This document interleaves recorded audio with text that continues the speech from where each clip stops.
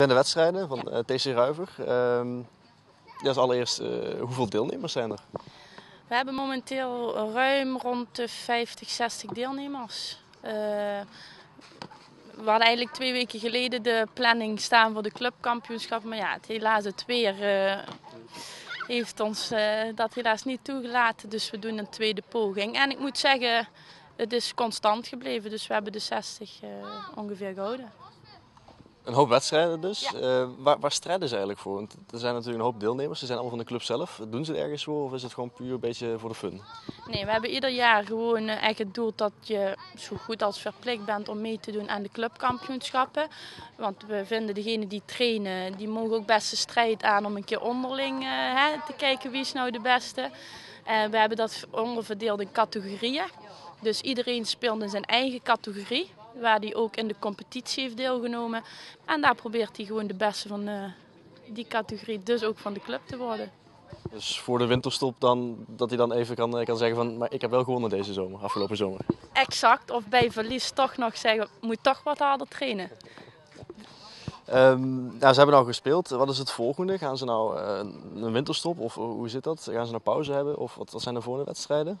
Uh, wij hebben over het algemeen geen winterstop, omdat wij gebruik maken van de binnenbaan en sportcentrum Zwalmen. Dus wij kunnen eigenlijk continu door. De enige stops die wij hebben is in de schoolvakanties van de jeugd. Dus wat dat betreft is het voor de tennissport ideaal dat men het hele jaar door kan trainen. De categorieën die meegedaan hebben, uh, dat waren ook alle categorieën van TC Ruiver. Ja, we hebben eigenlijk vanaf, uh, zoals u misschien ook zelf heeft gezien, de bal- en slagvaardigheid hebben we dit jaar voor het eerst opgezet. Wat een succes bleek nu achteraf. En uh, dat gaat tot en met 17 jaar. Dus we hebben inderdaad alle categorieën bezet. Dus in ieder geval tevreden over, de, over ja, het succes daarvan?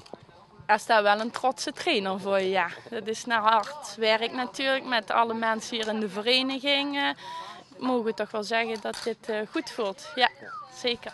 De, de vaardigheidstesten, waar, ja, wat is dat dan succesvol gebleken? Hoe zit dat precies eigenlijk? Wat, wat houdt dat in?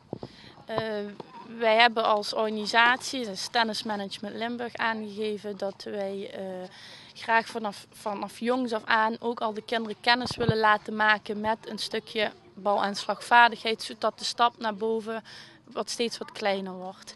En uh, eigenlijk uh, proberen wij dat zo uh, heel breed aan de vereniging waar wij zeg maar, werk, werkzaam voor zijn, erin te brengen en te stimuleren.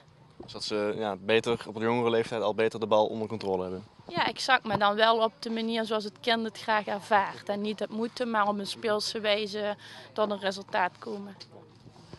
Zegt u tennismanagement Limburg, uh, dat is dan een orgaan wat erachter zit die dat organiseert? Of uh, hoe zit dat? Tennismanagement Limburg is een detachering die in Midden-Limburg ervoor zorgt dat de verenigingen er terecht kunnen op het moment dat ze trainers nodig hebben of dergelijke. En, nou, en wij hebben mo momenteel een ruim aantal clubs in heel Midden-Limburg.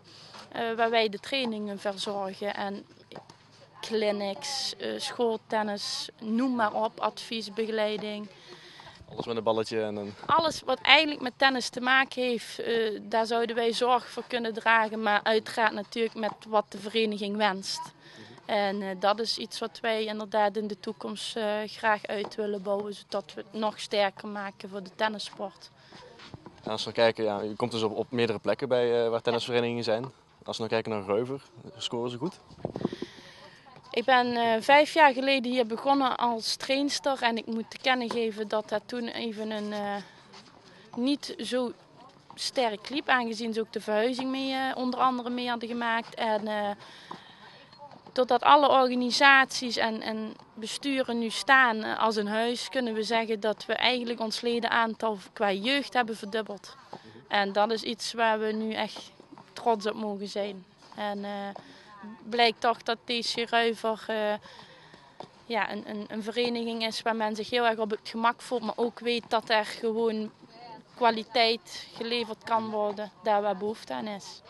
Maar ik bedoel eigenlijk meer van kwalitatief van hoe zijn de leden in Reuver ten opzichte van een andere vereniging? Dat is wel heel mooi dat je dat aangeeft, want uh, Ik heb momenteel uh, hebben wij deelgenomen in, met de Limburgse kampioenschappen uh, met mini en drie kwart. En daar is uh, naar voren gekomen dat we wel twee Limburgse kampioenen hebben. En bij de minis is dat Kiona geworden. En bij de drie kwart is dat Robin van Wielik geworden. En dat gaat over Limburg.